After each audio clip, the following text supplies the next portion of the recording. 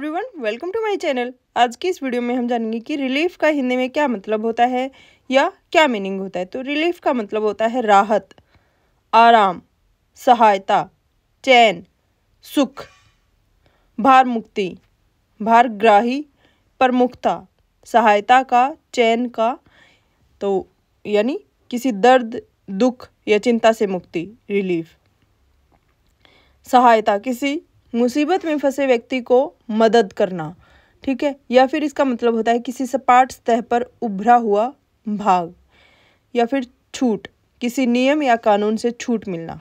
Example the news brought great relief to everyone खबर ने सभी को बहुत राहत दी। तो इसके साथ इस वीडियो में बस इतना ही। Thank you for watching